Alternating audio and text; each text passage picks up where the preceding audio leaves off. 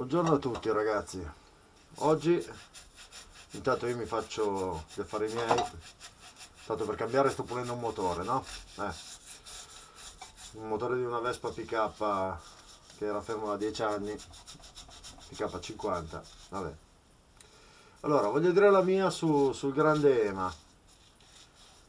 Non, eh, non voglio parlare eh, di quello che è successo, come, di come è venuto a mancare, eh, e non voglio tantomeno ricordarmi che lui è, è quella persona, Ema, è quello che è venuto a mancare perché ha fatto così. No, assolutamente non voglio.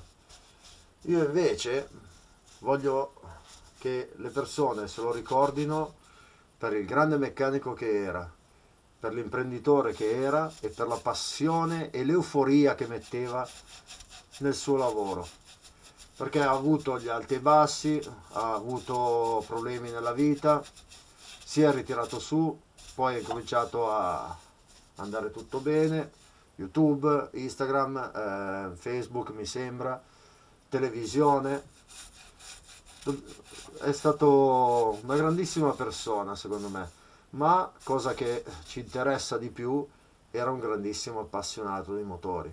Era veramente qualcosa di, che quando vedi un video diventa contagioso perché era veramente una persona molto particolare.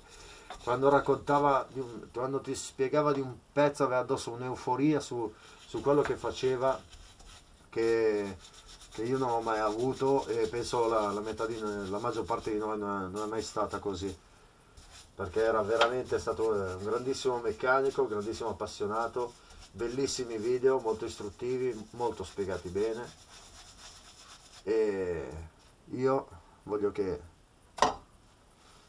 che Ema, il grande Emanuele Sabatino, venga ricordato così, non per come è finita, ma come è stato il viaggio.